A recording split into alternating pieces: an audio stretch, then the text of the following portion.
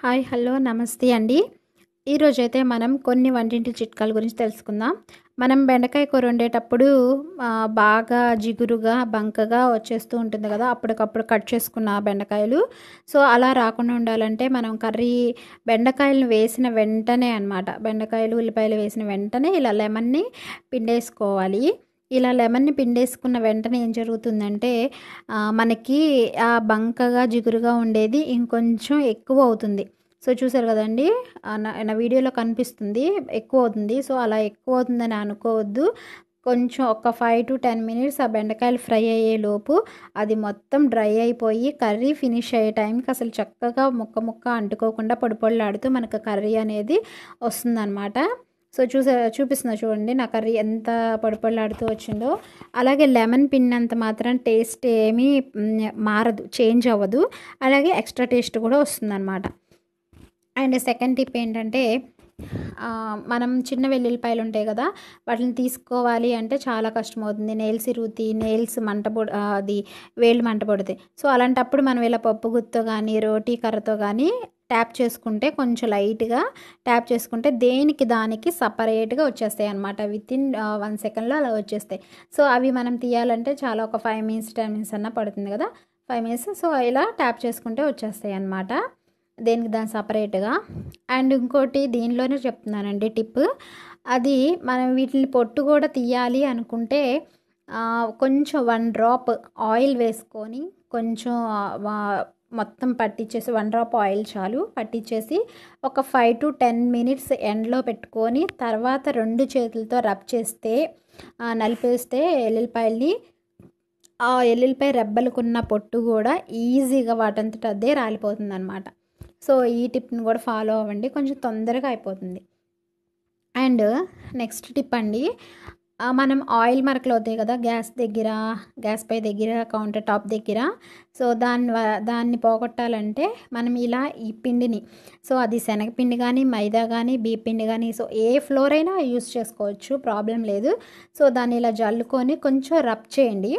కొంచెం రబ్ చేసి అలానే ఒక ఫైవ్ మినిట్స్ వదిలేసేయండి. అలా రబ్ చేసి ఒక ఫైవ్ మినిట్స్ వదిలేసేయండి. సో దీన్ని కోసం నేను సపరేట్ చూపిస్తున్నాను అనమాట ఇక్కడ గ్యాస్ దగ్గరే కాదు ఆయిల్ మరకలే కాదు. జిడ్డు జిడ్డుగా ఎక్కడ మరకలుగా అనిపించినా అదే ఆయిల్ కానీ చాక్లెట్ మరకలు కానీ బంక సాగుతాయి కదా. సో ఆ అలాంటి మరకలు కానీ అవి క్లీన్ చేయాలనుకుంటే ఇలా పిండిని యూజ్ చేయండి. పిండి బదులు మనం ముగ్గు కూడా యూజ్ చేస్తారు. సో ఇలా యూజ్ చేయండి. సో తర్వాత ఒక ఫైవ్ మినిట్స్ తర్వాత సో ఇలా అట్ల కాడతో కానీ లేదా మన చేతితో కానీ ఇలా క్లీన్ చేసుకోవాలి. సో చూసారు కదండి పిండి అంతా ఆయిల్ని అబ్జర్వ్ చేసేసింది మొత్తం. ఇక్కడ ఆ పిండి ఎక్కడ చేసినా ముగ్గు కూడా అంతేనండి ముగ్గు కూడా అబ్జర్వ్ చేసేస్తుంది. సో మీకు ఏదైనా యూస్ చేసుకోవచ్చు.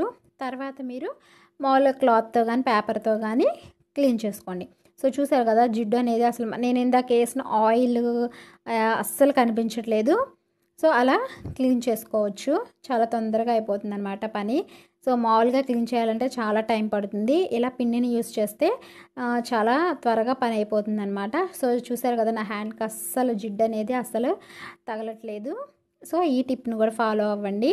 అండ్ నెక్స్ట్ అనమాట చిన్నపిల్లలు ఉన్న వాళ్ళ ఇంట్లో బిస్కెట్ ప్యాకెట్స్ ఉంటాయి. అవి మెత్తబడకుండా ఉండాలి అంటే ప్లాస్టిక్లో ఒక కంటైనర్లో కొంచెం బియ్యం పోసుకొని అలా ప్యా ప్యాకెట్స్ కానీ లేదా కొంచెం కొంచెం సగంగా ఉన్న బిస్కెట్ ప్యా ముక్కలు కానీ పెట్టుకొని స్టోర్ చేసుకుంటే ఎన్ని రోజులైనా సరే మెత్తబడకుండా ఉంటాయి అన్నమాట. అలాగే ఇంకో టిప్ అల్లంది తోలు తీసేస్తాం కదా తొక్క ఆ వాటిని కూడా మనం తిరిగి యూస్ చేసుకోవచ్చు.